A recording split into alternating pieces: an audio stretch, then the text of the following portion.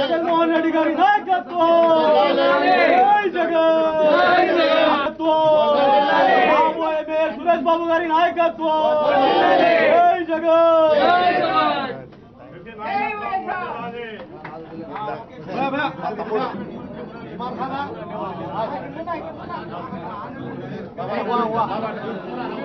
బాబు గారి నాయకత్వం జై జగన్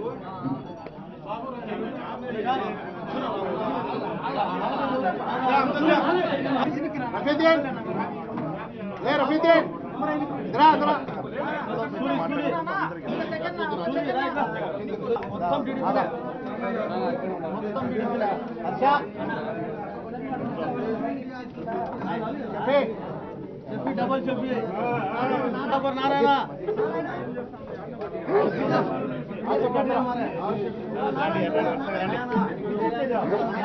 బాబు బాబు నా చిన్ననాటి క్లాస్మేట్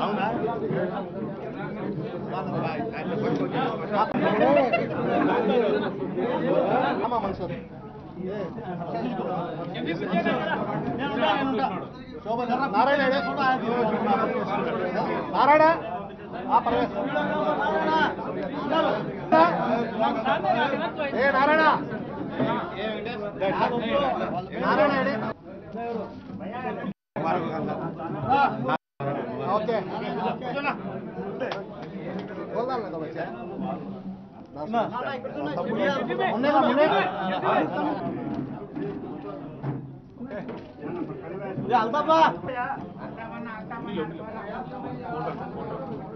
అస్సలం ఈరోజు నా రాజకీయ జీవితంలో మొట్టమొదటిసారి పంతొమ్మిది వందల ఎనభై మూడులో పార్టీ ఆవిర్భావం నుంచి ఒకే పార్టీ నందమూరి కుటుంబ వీరాభిమానిగా నేను కొనసాగినాను. ఎన్నో కష్టాలు వచ్చినా తట్టుకొని ఎన్నో ఒత్తిళ్ళు వచ్చినా తట్టుకొని ఒక కార్యకర్తగా ప్రజలకు సేవలు చేసుకుంటూ కులమతాలకు అతీతంగా నిలబడి జెండా మోసిన వ్యక్తిని నేను ఏ రోజు నా స్వార్థం కోసం పదవులు ఆశించలేదు. పదవులే నాకు అందినాయి. ఆ పదవులతో నేను ప్రజాసేవ చేసిన. కానీ ప్రస్తుతం జరుగుతున్న రాజకీయం ఒకప్పుడు పదవులు ఎవరికి అంటే పార్టీ జెండా మోసిన వాళ్ళకు ఆ తర్వాత నందమూరి కుటుంబ వీరాభిమానులకు ఉండేటివి. కానీ ఈరోజు పదవులు ఎవరికి అంటే ఫస్ట్ క్లాస్ కాంట్రాక్టర్లు ఏసీ గదుల్లో నుంచి రాజకీయం నడిపే వాళ్ళకే పరిమితం అయిపోయినాయి ఈ పరిస్థితిలో నిన్నటి వరకు పార్టీ కోసం నేను మళ్ళా ఒకసారి పోటీ చేయాలా నిలబడాలని శతవిధాల ప్రయత్నం చేసిన ఈ కాంట్రాక్టర్లు దీన్ని కూడా రాజకీయం చేయాలా డబ్బుతోనే దీన్ని కూడా ఏదో విధంగా పోటీ చేసే వాళ్ళ డబ్బులు తీసుకోవడం అనేది ఇది కొత్త సంప్రదాయం తీసుకొచ్చినారు. కార్యకర్తలందరూ ఒక్క రూపాయి సంపాదించలేదు ఈ కార్యకర్తలు గడిచిన ఐదు సంవత్సరాల్లో తెలుగుదేశం పార్టీ జెండా మోసిన వాళ్ళు ఈరోజు మళ్ళా వాళ్ళే వచ్చినారు. మేము పార్టీ పరంగా కష్టాల్లో ఆదుకుంటామని. అటువంటి వాళ్ళకు కూడా మీరు డబ్బు ఏమిస్తారు అనే ప్రశ్న వేసే పరిస్థితి నా జీవితంలో నేను చూడలేదు. అది తట్టుకోలేక నిన్న వాళ్ళతో చెప్పి నేను బయటకు వచ్చేసిన. నేను ఒకటే ఒక మాట చెప్తున్నా. నారా చంద్రబాబు నాయుడు గారికి కార్యకర్తల కాళ్ళు ముక్కుతామన్నారు ఐదేళ్ళు. కార్యకర్తలకు కాళ్ళు పెట్టుకుండే రెండు సెంట్ల స్థలం కూడా ఒక కార్యకర్తలకు ఈ కడప టౌన్లో కాదు ఈ జిల్లాలో ఈ రాష్ట్రంలో అందలేదు. రేషన్ కార్డులు కూడా కనీసం అందలేదు. కానీ అదే ఈ పక్క నూతనంగా వచ్చిన పార్టీ నా కళ్ళ ముందలే ఆవిర్భవించినటువంటి పార్టీ పార్టీని నమ్ముకున్న ప్రతి కార్యకర్తకు ఒక పక్క న్యాయం జరుగుతా అంటే ముప్పై ఏళ్ళు ముప్పై ఐదు జెండా మోసిన వ్యక్తులు ఎక్కడున్న వాళ్ళు అక్కడనే ఉన్నారు. ఈరోజు వేదిక మీద నా సోదరులు నా అందరు ఉన్నారు ఆ జెండాను నమ్ముకొని జగన్మోహన్ రెడ్డి గారిని నమ్ముకొని దివంగత నేత వైఎస్ రాజశేఖర రెడ్డి అడుగుజాడలో నడుస్తున్న వ్యక్తితో పాటు వీళ్ళు నడుస్తూ కష్టాల్లో పది సంవత్సరాలు ఆయన వెంట నడిచి ఈరోజు ఉన్నతమైన పదవుల్లో ఉన్నారు. నేను ఎలాంటి పదవి ఆశించకుండా నేను కేవలం జగన్మోహన్ రెడ్డి అనే వ్యక్తి ఎవరైతే రా దివంగత నేత రాజశేఖర రెడ్డి గారు అబ్బాయి ఉన్నారో ఆయన ఏ విధంగా తనను నమ్మి ఉన్న వాళ్ళను గుర్తించి ఈరోజు స్థానం కల్పిస్తున్నారు. అల్తాఫ్ నా సోదరుడు షఫీ నా సోదరుడు వీళ్ళు నా కళ్ళ ముందరనే రాజకీయంలో వచ్చినారు. వాళ్ళకు గుర్తింపు ఇచ్చినారు నమ్ముకున్నందుకు. కానీ నేను నాతో పాటు ఎంతోమంది ఉన్న వాళ్ళకు ఈ పొద్దు పార్టీలో ఒక గుర్తింపు లేదు. పైరవీలకు వాళ్ళ ఇండ్లకార టవర్లు టవల్లు పట్టుకుంటే నిలబడే వాళ్ళకు వీధుల్లో ఒక ఓటు లేని వ్యక్తులకు పరిమితం అయిపోయినారు కొంతమంది ఏసీ రూములో రాజకీయం నడిపారు. నేను ఒకటే తెలియజేసుకున్నా ఈరోజు నేను ఈ నిర్ణయం తీసుకునే దానికి ముఖ్య కారణం ఒకటే. నేను ఇక్కడ ఉన్నటువంటి వ్యక్తుడు నా సోదరు డిప్యూటీ సీఎం అంజద్ బాషా గారిని మనస్ఫూర్తిగా అభిమాని అభినందిస్తున్నా. ఆయన తీసుకున్న నిర్ణయం ఆయన మాట ఇచ్చినట్టు ఒకటే ఒకటి. నేను నాకు యాభై మూడు వేల మెజార్టీతో ఈ కడప పట్టణ ప్రజలు గెలిపించినారు. కులమతాలకు అతీతంగా నాకు ఓటేసి గెలిపించినారు. అటువంటి వారికి ఎవరికి ఎటువంటి అన్యాయం జరిగినా నేను ఉంటాను అని ఈయన మాట ఇచ్చినాక రాష్ట్ర ముఖ్యమంత్రి వర్యలు అందరి సమక్షంలో వైఎస్ జగన్మోహన్ రెడ్డి గారు పిలిచి అంజదన్న ఇచ్చిన మాట ప్రకారం నేను నిలబడతా కట్టుబడి ఉంటా అంటాడు అది ఒక్క గౌరవం. అది అంజద్ భాషకే కాదు ప్రతి ఒక్క ముస్లింకే కాదు. కులమతాలుగా అతీతంగా ఆయన్ను గెలిపించిన యాభై మూడు వేల మందికి ఆయన గౌరవం యాభై మూడు వేల ఓట్లతో గెలిపించిన ప్రతి ఓటర్కు ఆయన గౌరవం ఇచ్చినట్లే. అదేవిధంగా ఈరోజు నేను చాలా సంతోషిస్తున్నా. షాహీన్ బాగ్లో ఏదైతే ఎన్పిఆర్ ఎన్ఆర్సీ సిఏఏ మీద ఇక్కడ కడపలో కూర్చున్నటువంటి ఆడవాళ్ళను కూడా నేను అభిమా అభిమానిస్తున్నా అభినందిస్తున్నా వాళ్ళను కూడా. వాళ్ళ వల్ల అదేవిధంగా అంజద్ బాషా గారు చేసిన ప్రయత్నం వల్ల ఈరోజు నేషనల్ మీడియాలో కాదు సెంట్రల్ మీడియాలో కాదు ఈ దేశంలోనే బీజేపీ మీద ఒక ఒత్తిడి వచ్చింది. ఆయన క్యాబినెట్లో వీళ్ళ మంత్రులందరూ కలిసి వైఎస్ జగన్మోహన్ రెడ్డి గారి ఖచ్చితమైన ఒక సిస్టమేటిక్ పరంగా ఒక ప్రతిపాదన సెంట్రల్ గవర్నమెంట్కి పంపించినారు. ఏమని? రెండు వేల పదిలో మీరు ఏ సెన్సస్ ప్రకారంగా అయితే మీరు ఎన్పిఆర్ చేశారో దాన్ని చెయ్యండి. లేదా దానివల్ల మా కమ్యూనిటీలో ఉండే వాళ్ళు ఎవరైతే ఉన్నారో వాళ్ళు ఒక ఒక రకమైన భయాందోళనతో ఉన్నారో. దీన్ని సరిదిద్దండి అని పెట్టిన దానికి అమిత్ షా నిన్న సాయంత్రం కళ్ళు తెరిచినాడు. నిన్న అమిత్ షా ఇచ్చినటువంటి ఏదైతే వాగ్దానం ఉందో డి నో అన్నాడు. డి నో అన్నాడు. డి నో అన్నాడు. ఆ డి అనే ఒక సమస్యతో ప్రతి ఒక్కరికి అనుమానం అనేది ఉన్నది భయం అనేది ఉన్నది అది. ఎన్పిఆర్ ఎన్సిఏ సిఏఏ ఈ మూటి ఎన్ఆర్సీకి ఎలాంటి పత్రము చూపించాల్సిన అవసరం లేదు. ఈరోజు వైఎస్ఆర్ పార్టీ ఏదైతే క్యాబినెట్లో ప్రతిపాదన పెట్టారో వైఎస్ జగన్మోహన్ రెడ్డి గారు దానికి ఆయన సక్సెస్ అయినాడు. కేవలం దాన్ని చూసే నేను ఈరోజు ఈ పార్టీలో నేను ముందుకొచ్చి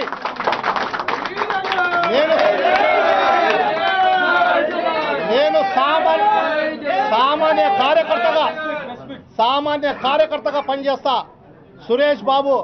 నాకు నాకన్నా వయసులో చిన్నోడు. మేమిద్దరం కలిసి తిరిగినాం కలిసి ఉన్నాం.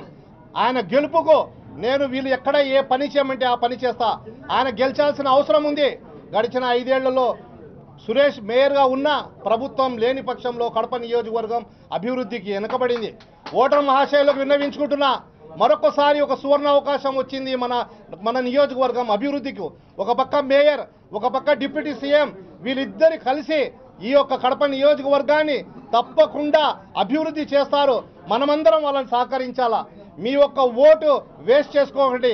మేము వీ ఏదైతే ప్రభుత్వం ఇచ్చిన వాగ్దానం ఉందో ఏదైతే జగన్మోహన్ రెడ్డి గారు ఎన్పిఆర్ ఎన్ఆర్సీ సీఏ మీద కొంతమంది రాజకీయం చేసి లబ్ధి పొందాలని అనుకుంటున్నారు. వాళ్ళందరికీ నేను ఒక్కటే మాట చెప్తున్నా దయవుంచి రాజకీయం చేయకండి. నేను కాంగ్రెస్ పార్టీ వాళ్ళకి ఒకటే ఒకటి హెచ్చరిస్తున్నా. మీరు ఈ పొద్దు మేము ఏదో చేసినాం అనుకుంటున్నారు. ఈ పొద్దు మీ వల్లే బీజేపీ రోడ్డుపైకి వచ్చింది. ఈ పొద్దు నేషనల్ వేస్ పార్టీ అయింది. ఆ రోజు మీరు అర్ధరాత్రి బీజేపీకి బాబ్రీ మసీదు కూల్చేదానికి మీరు వాకిలు తెరచుకుంటే ఈ రోజు బీజేపీకి పునాది ఉందా బీజేపీకి దారి చూపించింది మీరు. మేము గొప్పవాళ్ళమని ఈ పొద్దు ప్రతి డివిజన్లో మీరు మా వాళ్ళని గెలిపిండి అంటున్నారు. ఎందుకు గెలిపించాలా మీ వాళ్ళను? మీ వాళ్ళ వల్ల ఈరోజు బాబ్రీ మసీద్ అనేది కూలిపోయింది. ఈరోజు ఈ రాష్ట్రంలో కాదు ఈ దేశంలో మరొక మొగోడు ఎవరైనా పుట్టాడంటే అది వైఎస్ జగన్మోహన్ రెడ్డి శ్రీ శ్రీ రాజశేఖర రెడ్డి గారి తనయుడు.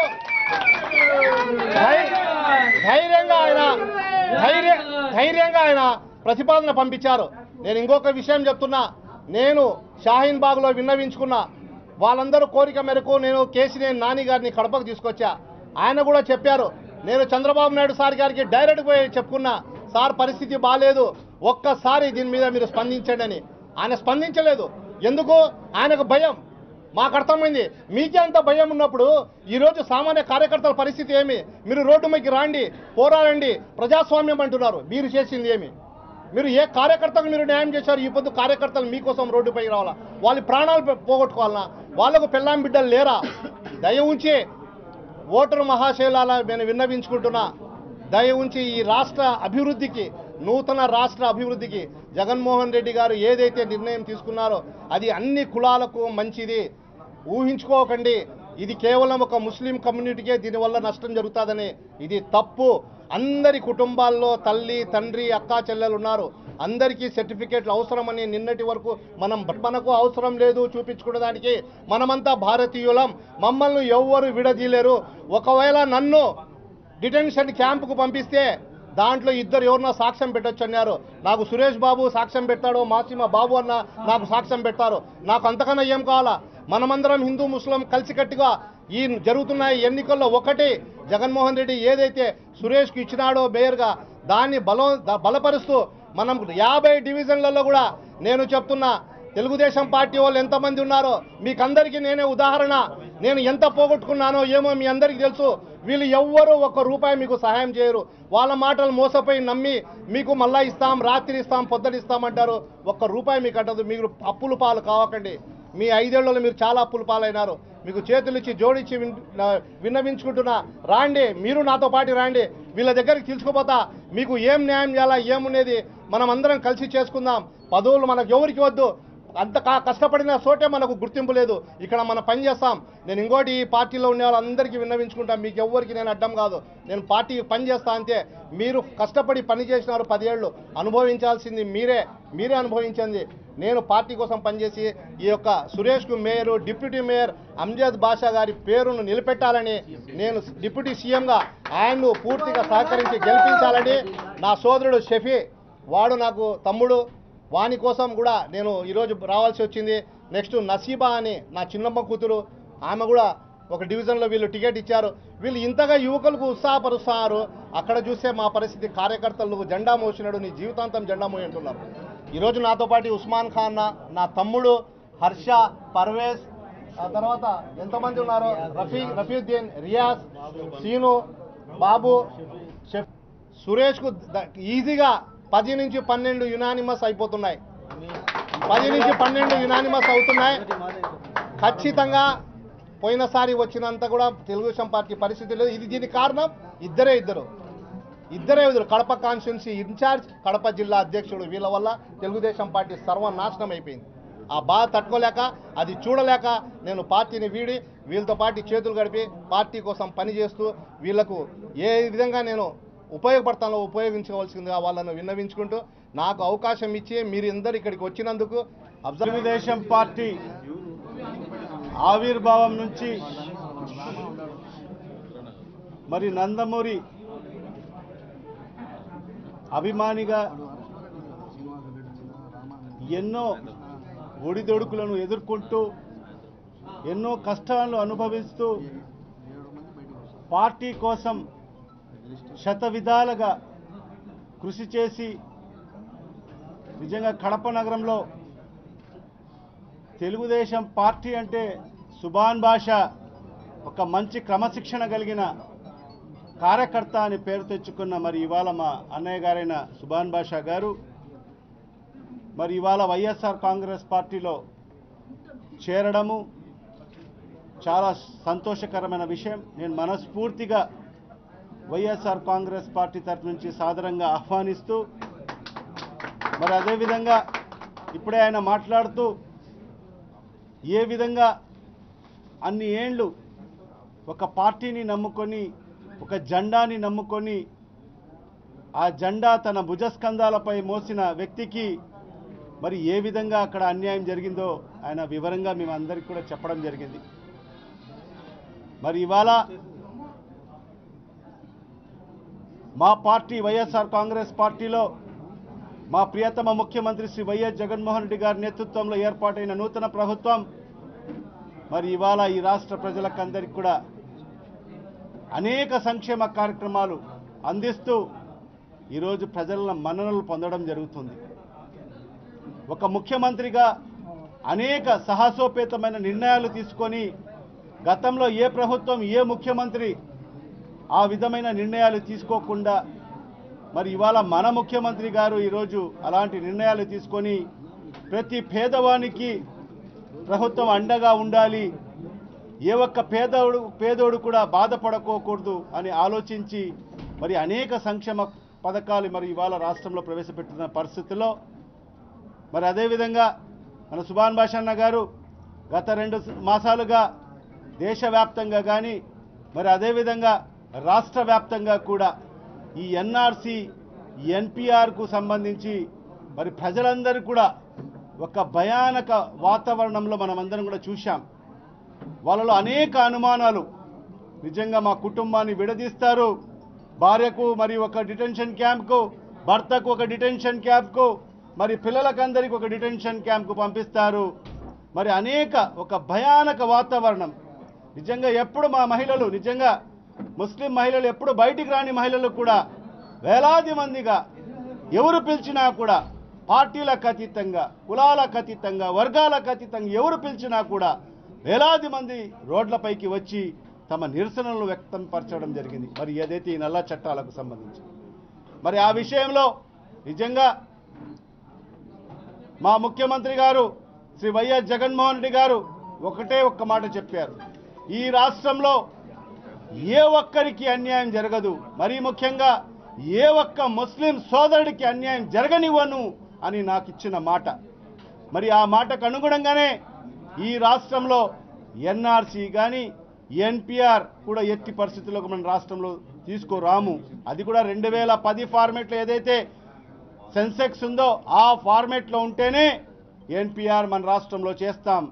లేని పక్షంలో దాన్ని అభయన్స్లో దాన్ని నిలుపుదల కూడా చేయడం జరిగింది. మన క్యాబినెట్లో ఏకగ్రీవంగా తీర్మానం కూడా చేయడం జరిగింది. మరి అదేవిధంగా ఆ తీర్మానాన్ని మరి రేపు జరగబోయే బడ్జెట్ సమావేశాల్లో కూడా ఒక రెజ్యులేషన్ రూపంలో కూడా తీసుకొస్తామని కూడా గౌరవ ముఖ్యమంత్రి గారు చెప్పడం జరిగింది.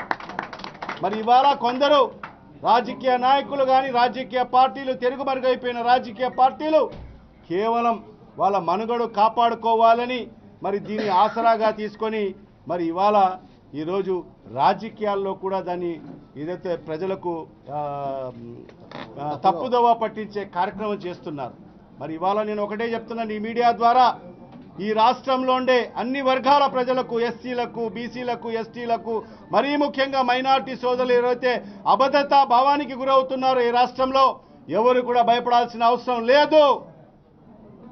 వైఎస్ఆర్ కాంగ్రెస్ పార్టీ ఈ రాష్ట్రంలో అధికారంలో ఉన్నంత వరకు మన ముఖ్యమంత్రి శ్రీ వైఎస్ జగన్మోహన్ రెడ్డి గారు ముఖ్యమంత్రిగా ఉన్నంత కాలం ఖచ్చితంగా ఏ ఒక్కరికి అన్యాయం జరగనివ్వను అని కూడా ఈ సందర్భంగా తెలియజేస్తున్నాను మరి అదేవిధంగా ఇన్ని సంక్షేమ కార్యక్రమాలు చేసుకుంటూ ఎవరికి అన్యాయం జరగకుండా ఇన్ని కార్యక్రమాలు చేసుకున్న సందర్భంలో మరి ఇవాళ నేను ఒకటే చెప్తున్నాను ఇప్పుడు స్థానిక సంస్థలు జరగబోతున్న ఎన్నికలు. ఈ ఎన్నికల్లో ఖచ్చితంగా ఆ ప్రాంతాల అభివృద్ధి జరగాలంటే ఖచ్చితంగా వైఎస్ఆర్ కాంగ్రెస్ పార్టీ జెండా ఎగురవేయాల్సిన అవసరం ఉంది. లేకుంటే ఇది గతంలో మనం చూశాం. ఇప్పుడే సుమానన్న గారు చెప్పారు. గతం ఇక్కడ పాలకవర్గం మనకున్నా కూడా అధికారం తెలుగుదేశం పార్టీ అధికారం ఉన్నందువల్లనే ఈ నియోజకవర్గం కానీ మన కడప జిల్లా నిజంగా సుమారుగా ఇరవై ఇరవై ఐదేళ్ళు వెనక్కి వెళ్ళిన పరిస్థితి మనం చూశాం. ఈ జిల్లాకు పూర్తిగా నిర్లక్ష్యం చేసిన పరిస్థితి చూశాం గత ఐదేళ్ళ కాలంలో తెలుగుదేశం ప్రభుత్వంలో. మరి అలాంటి పరిస్థితి తీసుకురాగకండి సోదరులారా ఓటర్ మహాశయులారా. ఇవాళ గతంలో ఈ జిల్లా అభివృద్ధి జరిగింది ఈ నగరం అభివృద్ధి జరిగిందంటే కేవలం ఆ మహానేత దివంగత ముఖ్యమంత్రి డాక్టర్ వైఎస్ రాజశేఖర రెడ్డి గారు ముఖ్యమంత్రిగా ఉన్న ఐదేళ్ళ కాలంలోనే అభివృద్ధి కార్యక్రమాలు జరిగాయి. ఆయన మరణాంతరం అవన్నీ కూడా నీరు గార్చిన పరిస్థితి మనం అందరం కూడా చూశాం.